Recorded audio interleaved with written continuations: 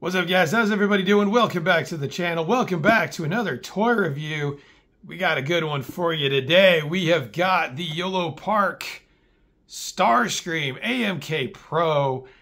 This one I'm really excited for, guys. I think this is going to be a good, good thing. YOLO Park, as I've mentioned in previous videos, really been doing a great job this year. Right now, we're in November.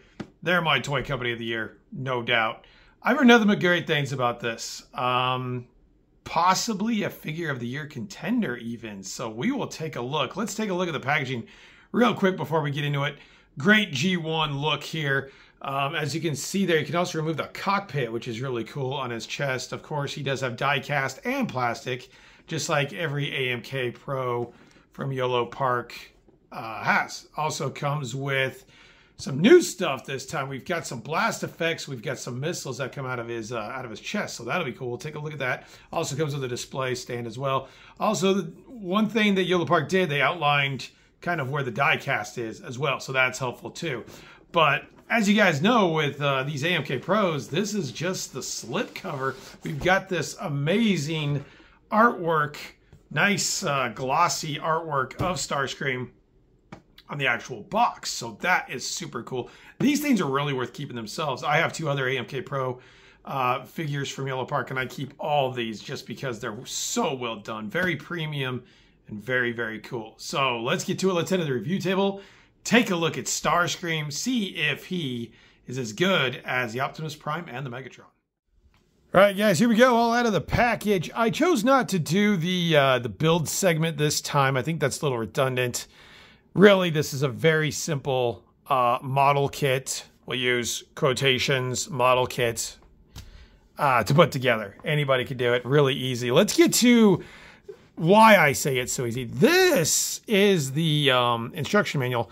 And I got to tell you, everything about this figure, the packaging, the figure itself is premium. This is this does not resonate like a $60 figure when you get it and you start looking at not only the box and the figure, but the instruction manual as well. Look at this instruction manual. It is glorious. Very, very, very nice. And it's a premium type of paper too. It's thick. It's very nice. So kudos once again to Yolopark. Um, we'll just go over it real quick just to show you guys. Again, like I said, very easy. Instructions are detailed very well, so really it's very easy to do. I mean, my, my son, he's seven, and my daughter, she's nine. They could do it with no problem. Uh, there's a back look at the um, instruction manual, and just, I mean, we get some of the old school, nice touch there. They give us some of the old school backgrounds from the old G1 boxes, so that's cool too. I actually didn't notice that till right now. But there's a good look at Starscream, and I got to tell you what, guys, to me, right now, at this point in time, this is my figure of the year. I won't even leave any suspense to that. This is not only the best YOLO Park AMK Pro figure that they've done, this is the best YOLO Park figure they've done. This is the best Transformer I've gotten this year. This is expertly done. The crafting, uh, the way he's done, the, the multiple faces, the uh, inclusion of battle damage, the the articulation. There is one point that will knock him down a bit, but that's it. We'll get to that in a second. But the paint, everything about this screams G1 Starscream. I mean, this rivals a masterpiece. He's a little bit smaller than a masterpiece. He doesn't transform. But if you're just into the character himself, you're not going to find a better value with this kind of execution on how he looks and moves than this Yellow Yolopark AMK Pro. It is fantastic. Let's get to it real quick. Let's get to his articulation. I'll show you everything he can do. So we'll go ahead and start up at the head. He does come with three other face plates, which I'll get to once we go over the accessories. Head is on a ball joint. He moves up, moves down a little bit. He's got some nice wiggle waggle there. When you get this smile face, he's got a ton of expression. I mean, you know, you can have him shooting right at the Autobots here, and he's just laughing it up while he's wasting Autobots. I, I mean, the the sinister, evil laugh that Starscream is known for was absolutely done 100% to a T. Beautifully done. Beautifully done. And I'm just so impressed with it. So the head itself, fantastic. The arms, we've got shoulder joints. We've got a nice butterfly. You can see how much his arm goes in and out there. Really well done as well. The null rays are on ball joints. So look at that. Go up and down based on how you're going to have the arm go. Very well done. And the joints, I'll tell you, are a little bit tight, but I'm actually okay with that. I think that's a plus that the joints are a little bit tight and not loose. You're going to be very impressed with this elbow joint because he has full range in his elbow, and that is fantastic. Very well done. The hand itself, very similar to Optimus Prime, where these fingers are on one hinge. We have a hinge more at the palm and a hinge where the fingers are. But his index fingers, you can see there has one, two points of articulation as well. And then the thumb is just on a uh, ball joint. So we're going to get a lot of nice poses out of the hands and that's pretty awesome too. As far as the wings go, these will go in and out. I would say be careful with this because this part is plastic. I I would have, in a perfect world, these would be die cast, but that's plastic. Still, just be careful of them and you'll be fine. As far as the wrist go, back to the ends, as far as the wrist go, they are on a ball joint, so they're going to get any kind of range of motion that you want. One misstep, this is going to be the only misstep of this entire review, is there is no waist joint. That was pretty much impossible just due to the design of Starscream and the way he moves. I don't really see any way they could have incorporated a wrist or a waist joint without breaking up the cockpit. And I would much rather not have a waist joint than break up that cockpit. So I can understand why they did that. In place of a waist joint, he's got a nice ab crunch. Look at that ab crunch. Unbelievable and you wouldn't even know it by putting them together. I was messing around with him earlier today to prepare for this review, and I didn't even notice the ab crunch till I noticed, uh, mess, you know, messed around with him a little bit more. So very, very nice there as well. As far as the legs go, he does have some in and out there. There is a skirt piece right back here. This is die cast, so you have to be a little bit careful, but it will go in and out. I'm not going to do too much. Also has a thigh swivel has knees. You, this knee, this knee shocked me because I thought it was going to go out to here, and it just keeps going and going. Again, they covered it up nicely, much like with uh, Megatron Optimus Prime. So you get a lot of movement in the knees too, which would be good for uh, for flight poses. Uh, one area too where there's not a ton of articulation, but you can get a little bit, is in the feet. You'll get some nice um, pivot right there. And then the toes will also go up and down just a little bit. So you can get this guy in some nice poses. I didn't actually think this was going to clear, but it does nicely. You can also see the battle damage as well. Battle damage is present throughout all of him. Nice little scuffing, as you can see. Let's see, where was it? There was an area, area right here. You can even kind of see like copper rusting, like rust going through them. And of course, there's panel lining on all of them too, which is something we don't see with Hasbro, but look at the panel lining. All that is done very well, very meticulous.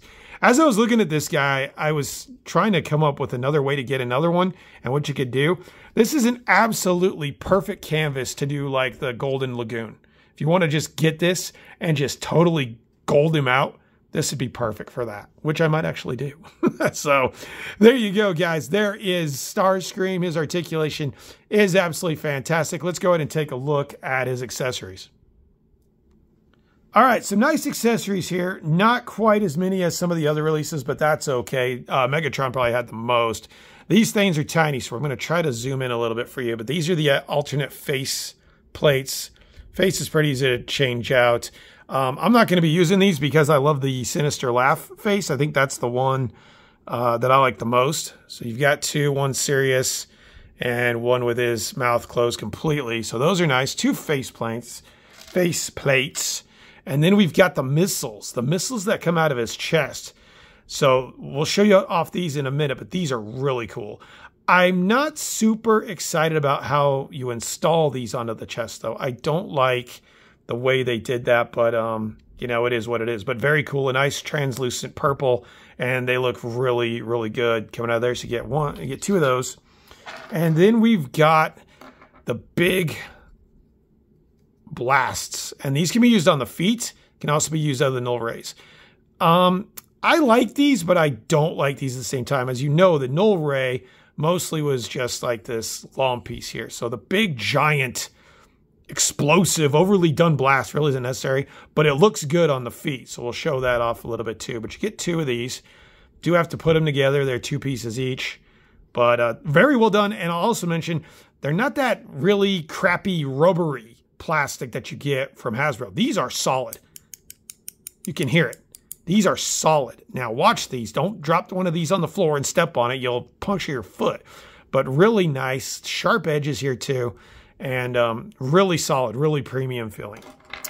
And then lastly, we get the, base, the base of display, complete with the uh, Decepticon logo there. And it's just a typical base, kind of like we got with uh, Optimus and with Megatron. So there you go. Good amount of accessories. Let's go ahead and load him up, and I'll show you guys what he looks like. All right, there you go. There's all the blast effects installed. As you can see, we've got the missiles coming out. Really what it is, they've got a little uh, peg in there that just kind of fits in between the uh, the silver portions there. So it is a little tough and you got to kind of read the instructions. I don't like to read the instructions, so that's kind of why it was tough for me. There's a good look at the uh, the null ray with the blast effect, and then also the blast effects can fit in his feet as well. So you can make this guy look really, really cool. You can have him static, you can have him shooting Autobots, you can have him all different ways. Really well done. I will tell you, I'm not crazy about these bases. Uh, they don't really, maybe I don't know how to do it, but they don't fit on him very well. So I'm not going to do too much of that in this review. But we'll um, go ahead and pose him up. I'll shut my mouth and give you guys some poses, and we'll put him on my little roundabout next.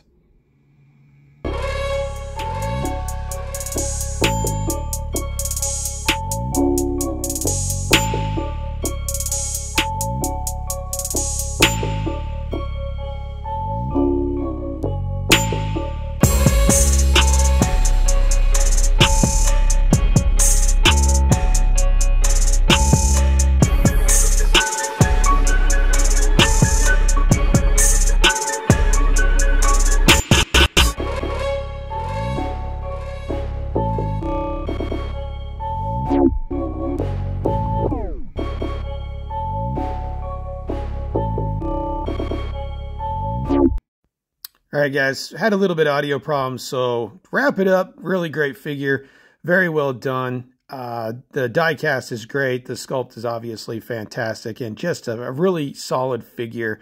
Um, I'm going to go ahead and say it right now, figure of the year for me at this point. I'm going to give him a 9.9 out of 10. I think the only misstep on this guy is that he doesn't have a waist swivel, but um, as we mentioned before, that would probably pretty much be impossible we'd be breaking up the cockpit, so we don't want that. But uh, excellent figure. You can get this guy on yolopark.com or you can get him on Amazon.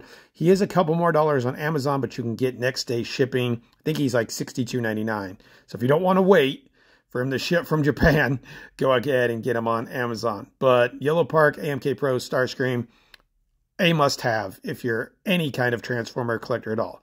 Hope you guys enjoyed it. If you did, comment, like, subscribe, and we'll see you on the next one.